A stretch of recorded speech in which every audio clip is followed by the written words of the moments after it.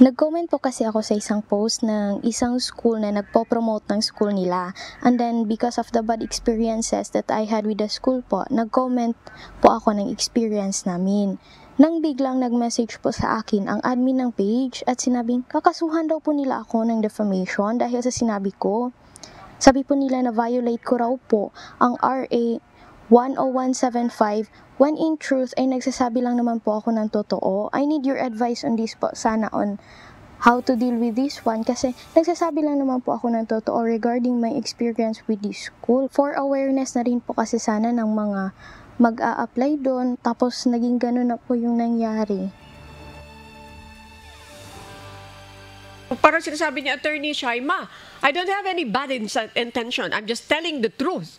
Ayan. Pwede Yes bang maging sangkalan yun para hindi siya mapanagot sa batas? Attorney Shaima, anong sagot natin po doon? Thank you po. Um, Miss Annie, Miss Jackie, sa totoo lang, pwedeng-pwede to. Pwede niyang gamiting depensa ang fair and fair uh, fair comment.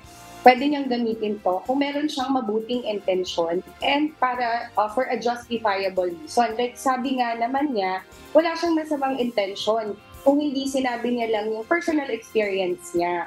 Which is hindi naman siya nagsasabi ng masama tungkol dun sa school niya. Kung hindi, sinasabi lang naman niya kung ano talaga yung tunay niyang naranasan during nung experience niya dun sa school na yun. Paano pag sabi namin ng school, experience mo yon doon sa isang staff, pero hindi yan nagre-represent ng kabuuan ng school.